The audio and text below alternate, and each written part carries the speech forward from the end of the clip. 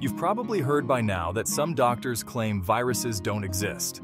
When the average person hears something like that, the first thing that comes to mind is probably that these doctors have gone mad and don't know what they're talking about. It must be a conspiracy theory. If you think about it a little, you'll understand that it's impossible to prove the existence of something that doesn't exist. So in this video, we'll prove that these doctors aren't crazy and that viruses really don't exist, but not by trying to prove the unprovable. Instead, we'll completely discredit the fake methods that official medicine uses to prove their existence. It's important to remember that we're talking about something that's supposedly measured in nanometers, which the human eye can't see. In other words, the story of viruses is the story of an invisible entity. To better understand what follows, let me start with a story. Imagine a bowl full of mixed nuts. It contains walnuts, almonds, hazelnuts, cashews, Brazil nuts, chickpeas, peanuts, pumpkin seeds, sunflower seeds, and pistachios. Now imagine a person, let's call him Mark, who eats the contents of that bowl and then breaks out in a rash, saying, My dad was allergic to peanuts, so it's probably the peanuts that caused my rash. Is such a scenario possible? Of course it is. But can we be completely sure that Mark's rash was caused by peanuts? Of course not. Okay, so how do we find out if Mark really developed an allergy to peanuts? There are two methods, and I'm sure both are completely clear to you. The first method is for Mark to eat a little peanut again the next day after the rash goes away. The second method is for Mark to remove only the peanuts from the bowl and eat everything else. If the rash appears again, we now have proof that Mark really is allergic to peanuts. Okay, but what if Mark doesn't get a rash after the first method, but does after the second? I believe it's clear to everyone how to determine the real cause of Mark's allergy in that case. However, if it's still not clear to you how to do it, this video isn't for you, and I suggest you go back to watching that football game. To talk about the non-existence of viruses, we'll use the fake pandemic of a virus called COVID-19. Here's how it all started. At the end of 2019, a COVID-19 pandemic was declared. It was declared by the World Health Organization after a group of Chinese scientists supposedly isolated the C19 virus from the tissue of several patients and published a paper on it in the well-known medical journal, the New England Journal of Medicine. This study talks about how they isolated the virus. You'll find the link to this study below in the description of this video. The study begins with a summary of what the scientists did. In December 2019, the illness of a group of patients with pneumonia of unknown cause was linked to a wholesale seafood market in Wuhan, China. A previously unknown beta coronavirus was discovered using unbiased sequencing of samples from patients with pneumonia. Human airway epithelial cells were used to isolate the new coronavirus named 2019 nCoV. The words you don't understand shouldn't worry you. All that's important here is that the scientists took a tissue sample from sick patients, which they believed had to contain the virus, then conducted lab analyses in the usual way, and at the end of the study wrote that they discovered a new virus. Classic medical forensics. To discover a virus, a scientific medical forensic procedure must be followed. Such a procedure has existed and has been used for the past 100 years and is called Koch's postulates. Koch's postulates state that, to paraphrase, what is being sought, in this case the virus, must be clearly identified to be claimed to exist, so it must be visible.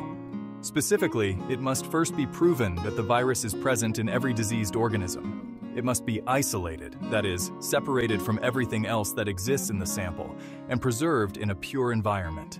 When what has been isolated, a pure virus and nothing but it, is introduced into a healthy organism, that healthy organism must fall ill and have identical disease symptoms, and the virus must then be isolated again from it, which must be the same as the originally isolated one. It must also be proven that the virus entered the first infected organism from the outside. None of these steps must be skipped by the lab workers because otherwise, we do not have proof of the virus's existence but only a theory of their existence. All of this is completely clear and logical. The only problem is that the virus is visible only with electron microscopes, so those of us who do not have access to them can only take their word for it. Shall we believe them? No. We won't because they have been flagrantly lying for 100 years. Here's how you'll understand that they're lying. Look at the first sentence of the last paragraph of the study. Although our study does not fulfill Koch's postulates, our analyses provide evidence implicating 2019 nCoV in the Wuhan outbreak. Oh, really? So they have no intention of using simple medical forensics in the form of Koch's postulates, which is the main condition for the study to have scientific value, but instead, they are trying to do it with some analyses. This is ridiculous. Okay, let's see what kind of analyses they did. Their story goes like this. We took samples of infectious material, which, in the most banal terms, means they stuck a swab through the patient's noses, twisted it a few times, and pulled it out to then place the cotton swab in a sterile container. Okay, it was not a cotton swab, but a pipette because the samples were taken from corpses, but later in practice, it was done with cotton swabs. You know how they do it.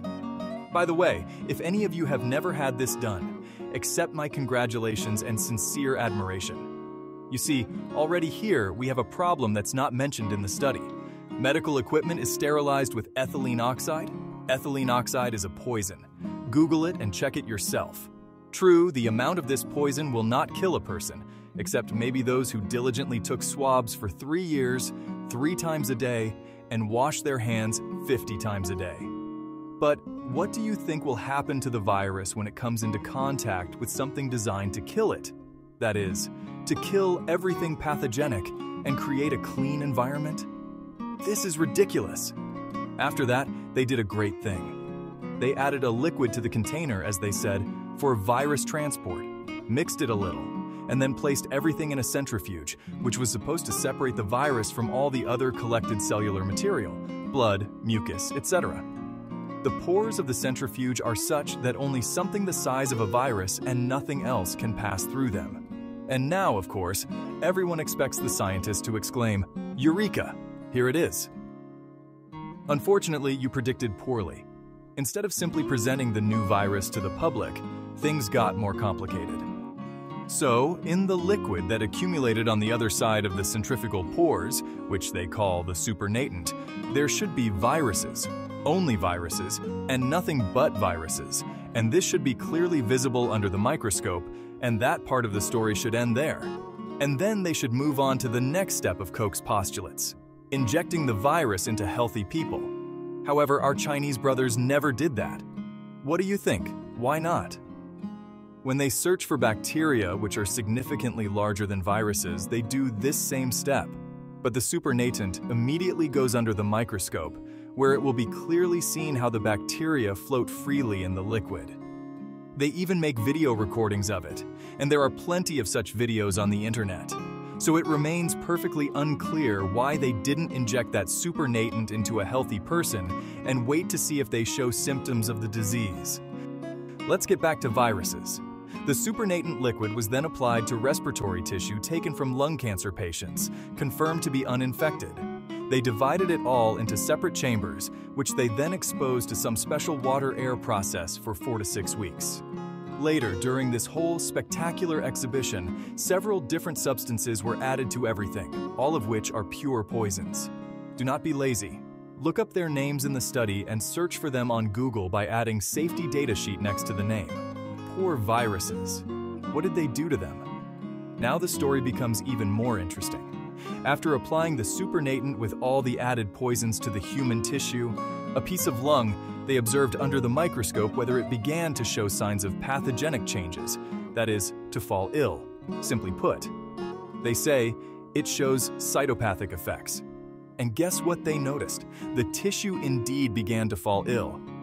Oh god, of course it will fall ill. This is totally ridiculous. But that was not enough for them, so they then picked up that sample and inactivated it for two hours with 2% paraformaldehyde. Come on, do not be lazy at least now and check what paraformaldehyde is. To make it easier for you, there is a link below the video. What on earth is this super poison doing to our poor viruses? But alas, the story does not end there.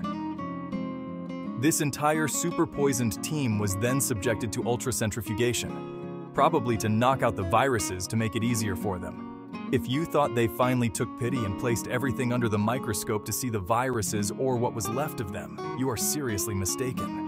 The crime against viruses now reaches its climax. They added another seven poisons. Don't believe it? Open the study again and read the text in the transmission electron microscopy section from the third sentence to the end of that section. Each and every one of them is labeled as hazardous. Check it yourself. So again, go to Google, type the name of the poison, then add safety data sheet.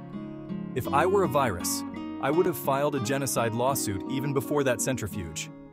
At this moment, the famous phrase about some vaccines being made from inactivated viruses comes to mind. You've probably heard that, right? Inactivated. Only inactivated? Oh, how nice that sounds compared to this massacre. And then they finally placed everything under the microscope to understand the genome of the virus they had never seen. This is how scientists' analyses look like, and all they had to do was to place the first supernatant under the microscope and make photos and video recordings, and then perform all the steps of Koch's postulates. One thing is very important to note here. Look, that final sample they eventually placed under the microscope contained all sorts of things. This is written in the study. However, they claim that it is the virus from that heap of everything that caused the disease of the lung tissue. Do you still remember the story about Mark and the peanuts? But okay, let's now assume that this is indeed the case and perform a cheap trick called a control study in their scientific world. In the entire history up to today, only two independent control studies on viruses have been conducted, and both yielded results that their fake science was not satisfied with. The first was conducted in the early 50s, and the second a few years ago by Dr. Stefan Lanka. But wait, what is a control study at all? This is very important, and listen very carefully. In a control study, everything is done identically to the original study, but the sample of infectious material believed to contain viruses is not added to the process. So we want to know if that tissue would have fallen ill without the virus sample, just as Mark removed peanuts from the bowl to find out if he was allergic to them. Do you know what happened in those two control studies? Yes, you guessed it right, the tissue fell ill. Trust me, our Mark would have done a better job of isolating the virus than these Chinese clowns. What you see here are the graphical results of the control study conducted by Dr. Lanka. By the way, in 2011, he offered a reward of 100,000 euros to anyone who could provide him with a study that scientifically proves the isolation and existence of the measles virus. Young Dr. David Bardens brought Lanka six studies, which he himself had not read, claiming they proved the isolation of the measles virus. The case ended in court, where the German Federal Court of Justice, FCJ, on December 1, 2016, completely dismissed Dr. Bardens' lawsuit declaring all six studies as unscientific, like this Chinese one on the isolation of the C19 virus. Many other studies were conducted on the isolation of the C19 virus after this first one. And all these other studies were conducted like this first one, on the basis of which the pandemic was declared. But do you know what is tragic? Such laboratory studies have been conducted for about 70 years since the discovery of the electron microscope on literally all other viruses, and they all yielded the same results. We discovered the virus, believe us. Look, for example, at what the polio virus looks like. But wait, shouldn't they be the same? Or at least similar? Absolutely ridiculous.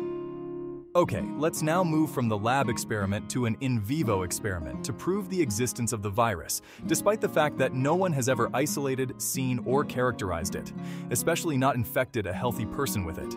Because the fact that it has not been seen does not mean it does not exist. Remember, the virus is invisible. So how is this done? In fact, it has already been done, but no one ever told you.